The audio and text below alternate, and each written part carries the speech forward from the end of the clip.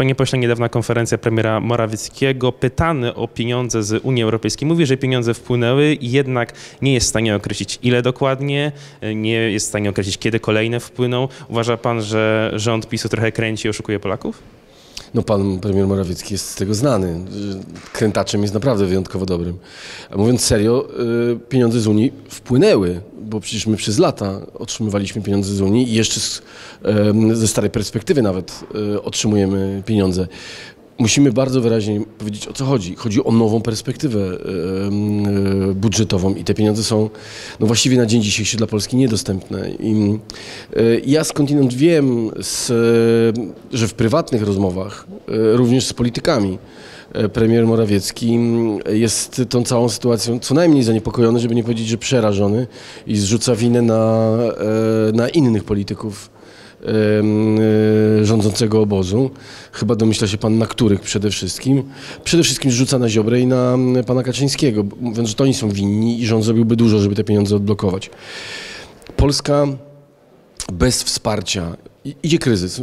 Wiemy to wszyscy. Ten kryzys właściwie już e, gospodarczy u nas jest. To wszyscy, którzy mają kredyty, którzy chodzą po sklepach, widzą jaki jest poziom inflacji, czują, ale idą czasy znacznie trudniejsze. I bez tego wsparcia unijnego, e, bez inwestycji, które kreują pieniądze europejskie, Polska po prostu sobie gospodarczo nie poradzi i wszyscy to odczujemy. Pan straci 20% dzisiejszego wynagrodzenia, ja stracę 20% wynagrodzenia, wszyscy Polacy zbiedniejemy około 20%, jeżeli e, w Polsce nie będzie silnego impulsu e, prorozwojowego, inwestycyjnego. PiS poświęci Ziobrę? PiS poświęci Ziobrę według Pana, żeby to naprawić, te relacje z Unią, czy nie będą tego w stanie zrobić przez ostatni rok swojej kadencji? Kaczyński żeby poświęcić Ziobrę, musiałby, tak, takiego porównania użyję, musiałby sobie urwać nogę na przykład, albo obie nogi, bo bez y, Ziobry on nie ma większości parlamentarnej, więc nie, on poświęci nas wszystkich.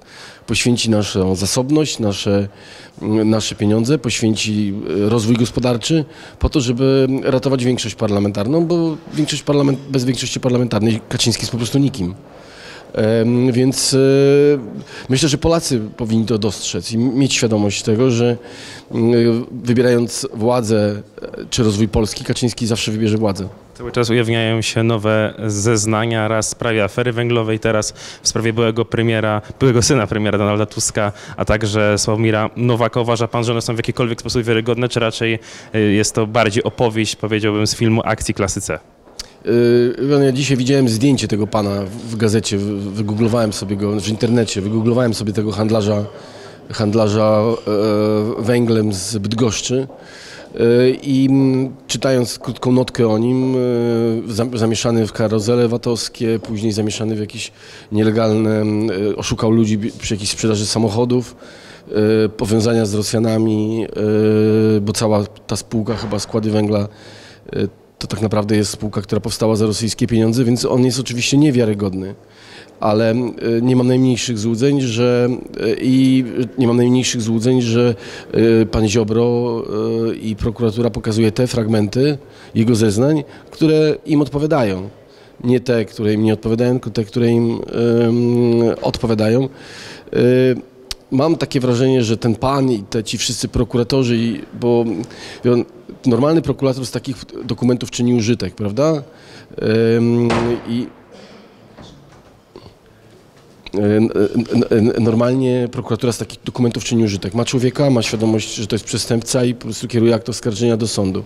Natomiast e, prokuratura w Polsce bawi się tymi dokumentami, używając je przeciwko swoim przeciwnikom politycznym, wtedy, kiedy im to, yy, to odpowiada. I to jest wszystko, przepraszam za wyrażenie, i ci prokuratorzy, i ten pan od węgla, i ten drugi pan od, od węgla, Falenta, i pan ten W, to jest wszystko jakieś jedno wielkie szambo, yy, które ja chciałbym, żeby ode mnie, od mojej formacji politycznej po prostu trzymało się jak najdalej. Wczoraj Władimir Putin ogłosił stan wojenny na okupowanych terytoriach na Ukrainie. Jak Zachód według Pana powinien zareagować i czy według Pana również ten konflikt będzie dalej eskalować? Y, ta decyzja o wprowadzeniu stanu wojennego na terenach zajętych przez y, Putina jest najlepszym dowodem na to, że on nie panuje nad tymi terenami. Bo gdyby tam sytuacja była opanowana, gdyby administracja y, okupacyjna panowała nad tymi terenami, nie byłoby konieczne wprowadzanie stanu wojennego. Wydaje mi się, że Władimir Putin jest w bardzo trudnej sytuacji. ma bardzo trudną sytuację na froncie, ma bardzo trudną sytuację gospodarczą, ma bardzo skomplikowaną sytuację polityczną i wydaje mi się, że zaczyna mieć również coraz bardziej skomplikowaną sytuację wewnętrzną w Rosji, zarówno na Kremlu, jak i yy, w społeczeństwie.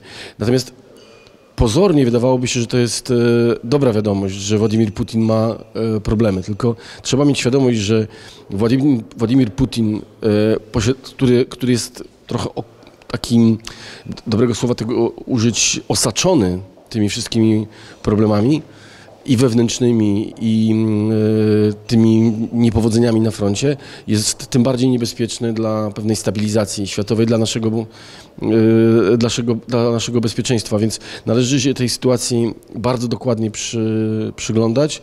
Bardzo ważne jest stanowcze i jednolite stanowisko Zachodu e, w tej, w tej kwestii i jeśli od Polski cokolwiek zależy, to Polska musi bardzo mocno stać w sojuszu zarówno z krajami europejskimi, jak i amerykańskimi i robić wszystko, żeby ten sojusz był z jednej strony trwały, e, z drugiej strony taki bardzo zdecydowany, a trzecie, żeby był jednolity.